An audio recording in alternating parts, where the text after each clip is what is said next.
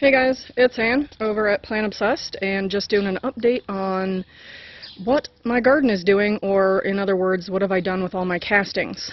So what we have right here in front of me is my tomato garden. I've got some of the things that are still in pots sitting on the pavers in here right now just because I um, am doing a little bit of succession planting and some things are ready before the other things are ready to get out. So let's take a look here. Try not to go too fast to make you dizzy. This is my new raised bed that I made out of um, pavers or concrete blocks. Uh, yeah, that was a, ended up being a trip to the doctor. Thank God for tramadol. Uh, so right now what we have in here is onions and garlic, and so they're doing lovely.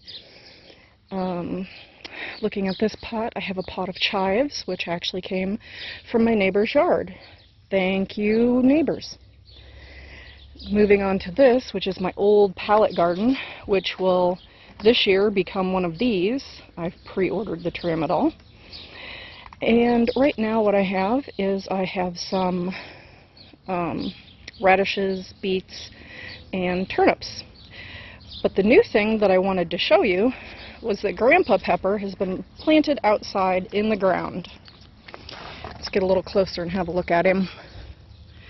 So, yeah, he hasn't been planted in the ground for a couple of years. I left him in his, I think he left him in his pot maybe one year. So he hasn't been in the ground for at least a year. So I thought this was a good year for it. He was looking a little bit not right. Um, little heat stress from being in my new greenhouse. That is a learning curve that I have yet to master. But, so I still have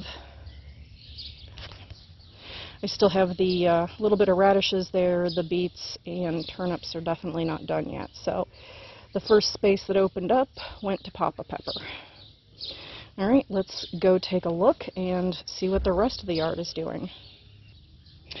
Alright, so over here in my potted edible garden is my currants, gooseberries, and um, figs.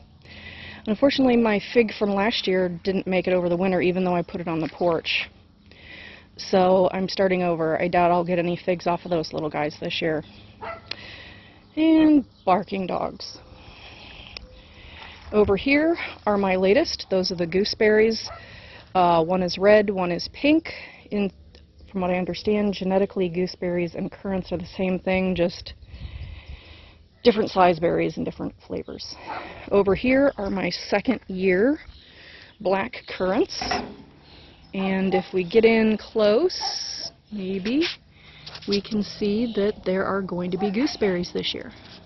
Nope, not gooseberries, and currants. There you go. You can see a little couple of them right there. And then trailing on to the side of the yard are my grapes. So they're waking up. Kind of squeeze in here. Um, so there they are. If you've ever wondered what they look like when they're newly clustering out, right there and there.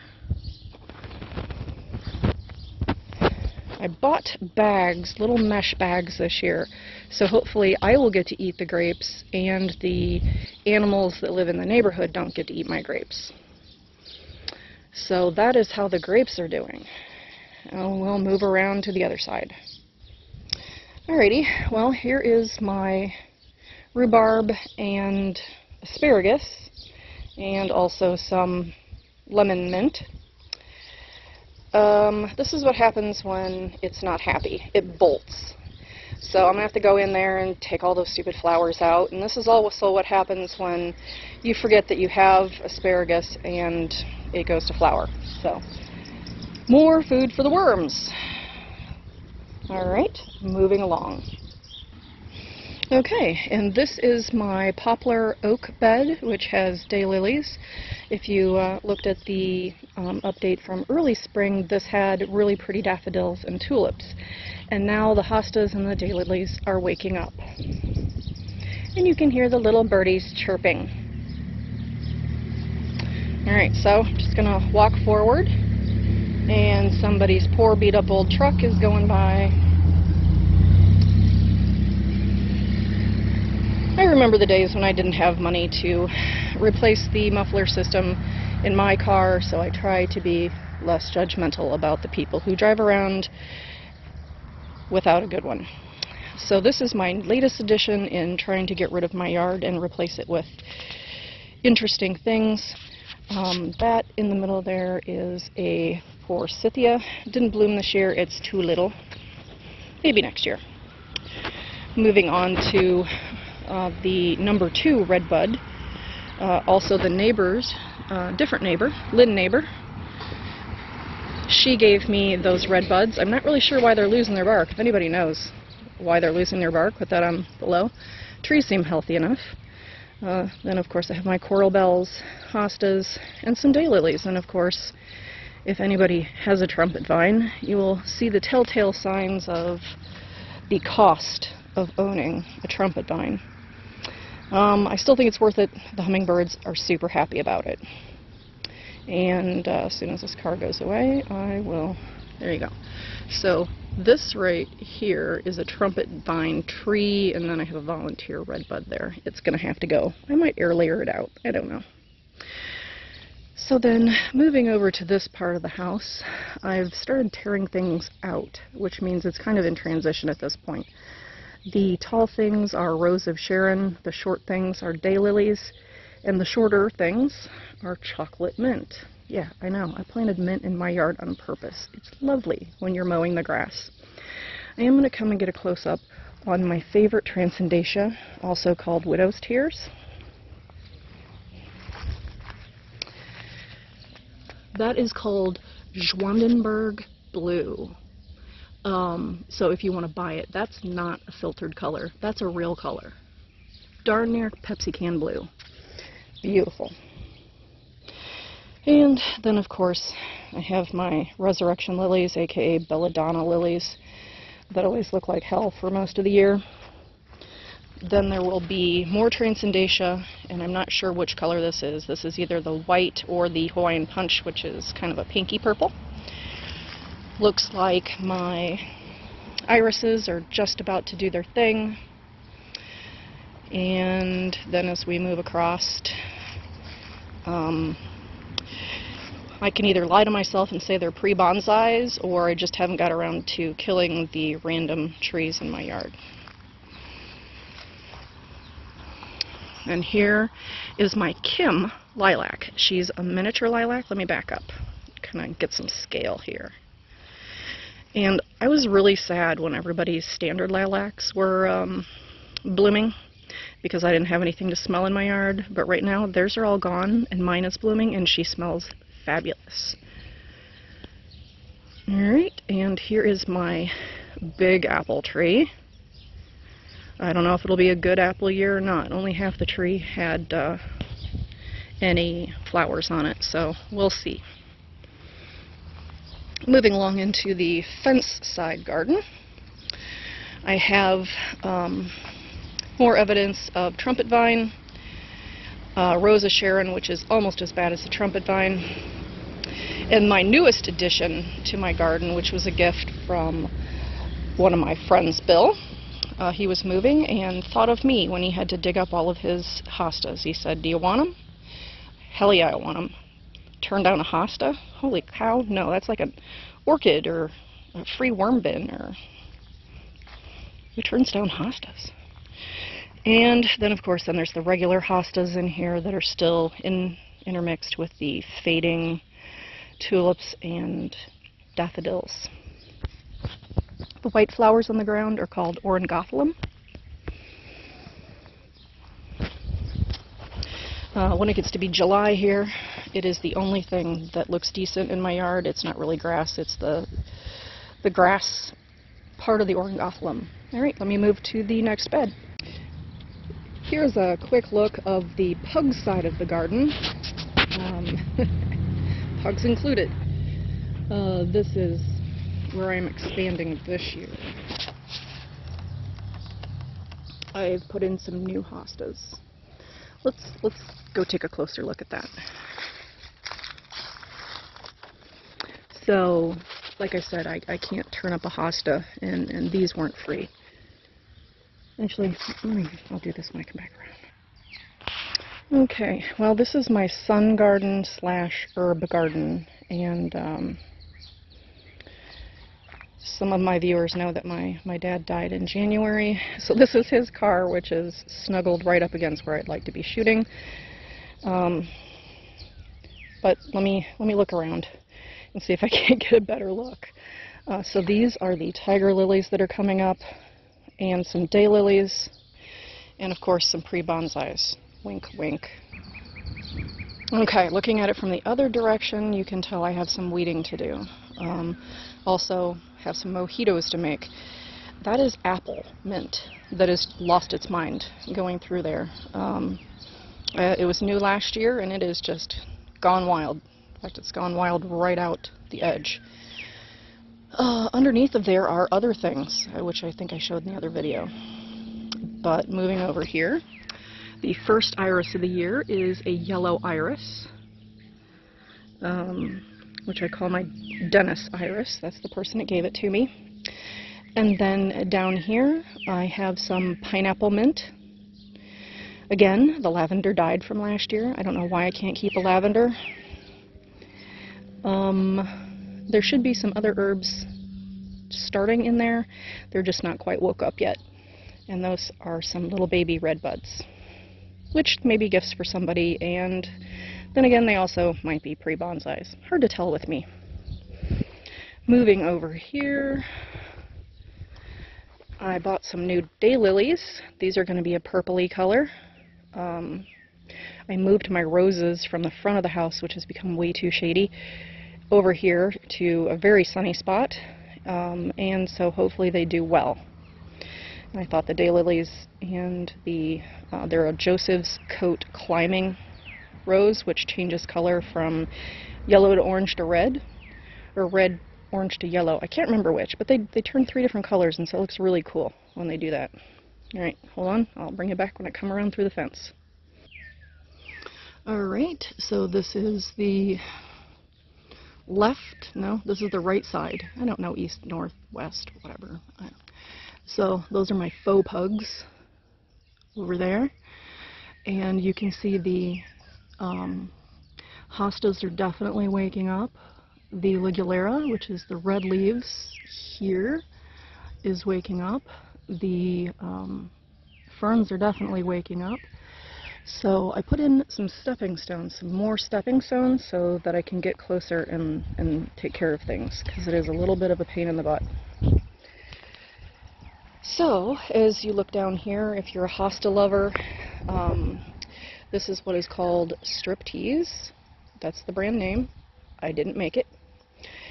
Um, it's really kind of cool. It's uh, it's a bigger hosta than I thought it was going to be. It, it, was actually pretty small for a couple years, but um, here for scale, here's my hand. It's a good size hosta.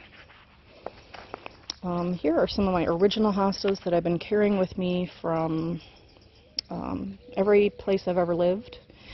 So they have been called Jesky or Jesky because that's the name of the person I got them from. Um, I don't know what their real name is. Here's the Ligularia. I'm not sure if it gets quite enough sun. These things can get really super huge. I actually started growing them because I like the leaves for doing my cement projects. But as of yet, they've yet to get big enough to make it to the cement projects. And as we come around here, you can see here that my, God, what are those called? Don't know, but they smell really awesome. I wish there was a perfume based on those.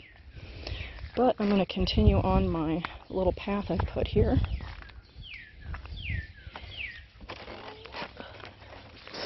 This, this is a big garden. You're probably thinking, holy hell, this is a big garden. It is a big garden. Um, but it's not work to me. I enjoy it. Otherwise, yeah, this would be hell for somebody who doesn't like to mess with the garden. Um, in this particular light, these hostas that I got from uh, somebody I worked with. Um, these are huge. Let's see if I can put my hand next to them. The color does look a little brighter. They're not quite as yellowy as they're appearing to be in the video. They're more of a lime green. But yeah, more hostas. Got a little uh, natural or native cranesbill happening here. Future transcendatia coming out. In fact, these hostas have gone so big they've eaten the pavers that are my stepping stones. So let's see.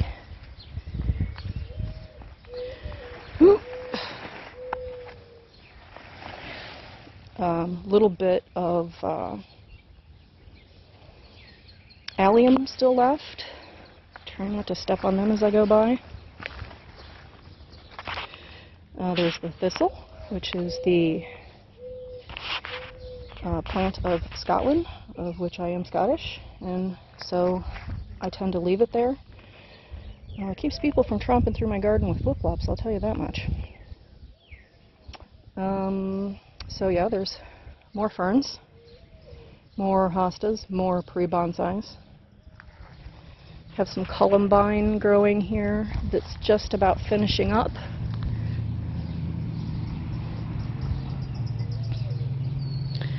They are uh, friends of the hummingbirds, so even though they have their flowers upside down, I, I do love them.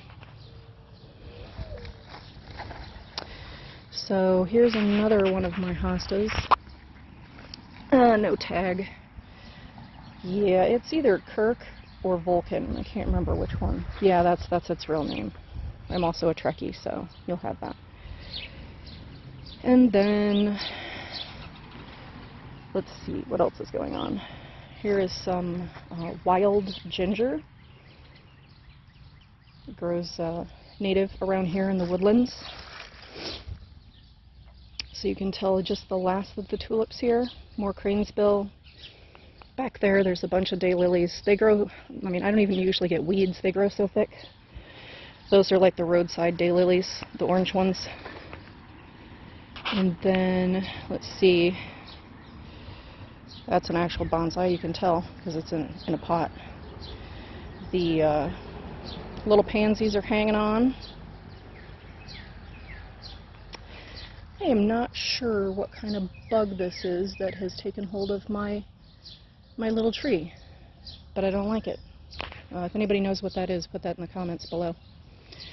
Um, and one of my favorite hostas, um, it is just amazing. It is yellow, almost banana yellow, and huge. I love this thing. I can't wait for it to divide so I can spread it around, spread the love around. I'm also kind of tiptoeing through the the trans or the ornithogalum here because the bees love it. I'm trying not to get stung by a bee. Alright, got my little color ferns there. And then more, more different kinds of hostas. These are supposed to be the blue hostas, but I think whatever the soil is supposed to be to make them really blue, I must not have it. And then more of the columbine. These are still a hybrid. They're not the old-fashioned kind. And they just mix themselves around my garden. I don't plant them. And then they come in in different colors. So whatever I planted at one point is not what I have now. They just keep mutating or crossbreeding or whatever. Okay. So this is part of my past concrete project. Those are burdock leaves that I um, cast into concrete and then painted to be kind of a little psychedelic. Um, I usually have them fashioned to be a like a waterfall, but I haven't got there yet this year. This um, below here is toad lily. It's my first time growing it. It's spreading, so I'm super psyched about that.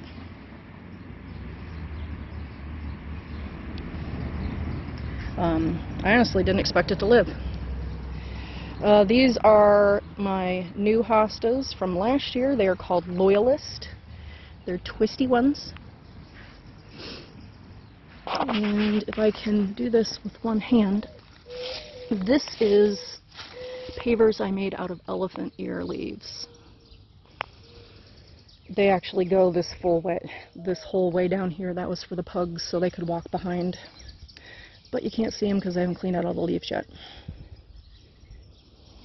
Okay, so then we have this year's new hostas.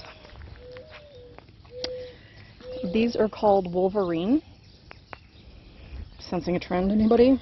Um, they're supposed to get to be 10 inch long strappy leaves, which I'm going to just love. I love variegated and I love different textures and, and shapes, so that'll be great. And then another set of new hostas. These are called praying hands, and they're supposed to be rolled up like that. Normally you see leaves that are rolled up like this and it's a sign of dehydration or some sort of pest. But that is in fact the way that they are.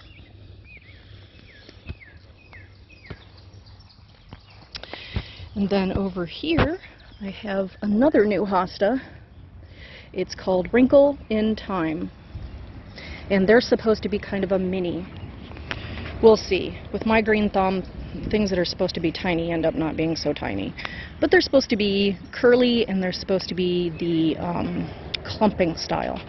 So they should spread very readily. Alright, and then here, here is the whole garden that's probably about 75 by 75 right now. And then of course cut to an angle. Alright guys, well if you like the video, give me a muddy thumbs up. And if you're not a member of my worm family, click that subscribe button. And if you want to know what I'm doing when I'm doing it, ring that bell icon. Alright guys, thanks for hanging out with me in my garden. And everybody, have a good day.